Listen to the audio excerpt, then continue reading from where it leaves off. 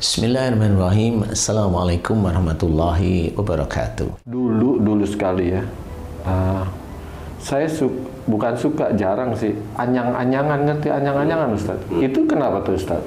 Jadi anyang-anyangan itu insya Allah kalau orang kan katanya minum air panas, minum air dingin bebarengan. Ya. Enggak, anyang-anyangan itu adalah rasa seperti mau pipis, ya. mau buang air. Ya. Nah itu yang kena itu adalah sarapnya.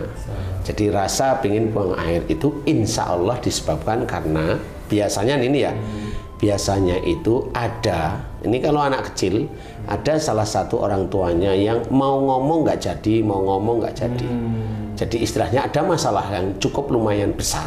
Nggak jadi itu disebabkan karena takut? Takut bisa bener, hmm. takut atau bagaimana itu begitu. Nah ini biasanya anaknya sering anyang-anyang. Hmm. Seperti kalau yang gede itu anyang-anyangan ya begitu, insya Allah sama. Jadi dia juga ada masalah yang cukup lumayan besar. Dia nggak bisa ngomong, nggak bisa ini, nggak bisa itu karena bisa aja takut, bisa aja memang ah begitulah ya, sepertinya. Nah ya, itu insya Allah anyang-anyangan itu dari situ.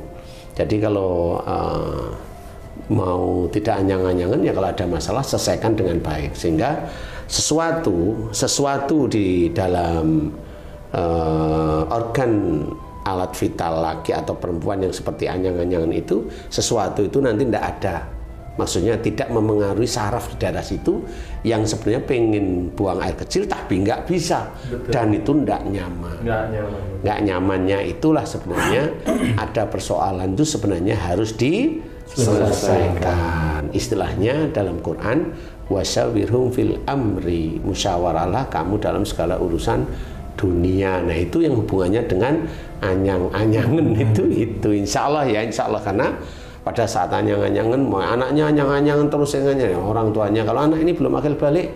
Ya saya bilang itu kamu mana yang ini kalau ada masalah? Bingung dia mau ngomong atau takut mau ngomong atau ini siapa? Saya. Oh ya sudah. Hanya mau ampun titik itu nanti insya Allah anyangan hilang. Nah setelah mau ampun ya hilang. Kalau ada masalah selesaikan. Nah biasanya ngomongnya habis ini suami saya itu seringnya kalau saya ngomong marah Ustaz. Nah, kan hmm. akhirnya kan takut. Iya. Kan gitu ya. Oh ya sudah. Akhirnya dua-duanya dinasihatin ya janganlah, kan ada masalah.